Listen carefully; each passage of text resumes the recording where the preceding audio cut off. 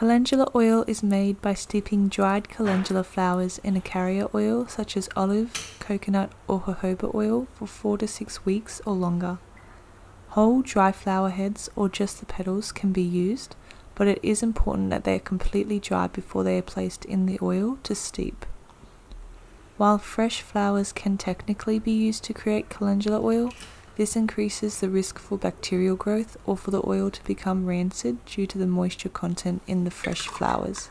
Therefore, I prefer to use dry flowers. While the flowers are steeping, the natural active resins within the calendula flowers are extracted and drawn into the oil, making it a concentrated oil full of the herb's healing properties. The finished calendula oil can either be used on its own or used as an ingredient to create other products like natural salves, ointments, or creams. Depending on the type of oil you choose to infuse the calendula flowers with, this will likely dictate the uses for your finished calendula oil. For example, some oils are inedible while others may not be great for skin. Calendula is tolerated by most people, however, those who are allergic to plants of the daisy family or ragweed should be wary of this plant, and possibly do a spot test to ensure they have no adverse reactions to calendula before using. Calendula oil can be used both internally or externally to support the immune system, heal infections, and treat skin ailments.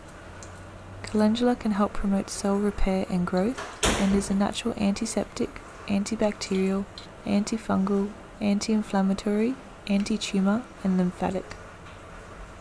Calendula can be helpful in treating ailments like rashes, sunburn, swelling, eczema, acne, stings, wounds, mild burns, scrapes, chickenpox, cold sores, razor burn from after shaving, and even genital herpes sores. The traditional method for making calendula oil takes around 4 to 6 weeks to complete as it involves infusing the oil using natural sunlight. This is my preferred method as it best preserves the delicate constituents found in calendula and yields a better quality oil. To make this homemade calendula infused oil, fill a glass mason jar two thirds of the way full with dried calendula flowers.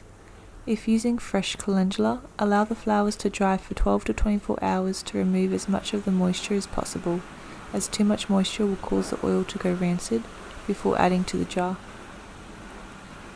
Pour olive oil over the flowers, making sure to completely cover them by at least 1 inch so they will have room to expand. Stir well and cap the jar tightly.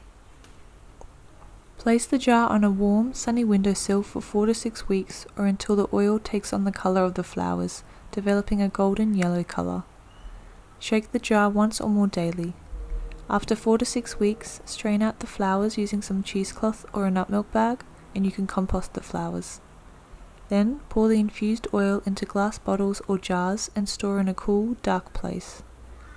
And that's how you make a healing calendula oil from scratch at home using only two ingredients. I hope you enjoyed this video tutorial. Let me know if you try this recipe yourself and what you use the calendula oil for. I'd love to know. I hope you have a wonderful day and I'll see you soon again.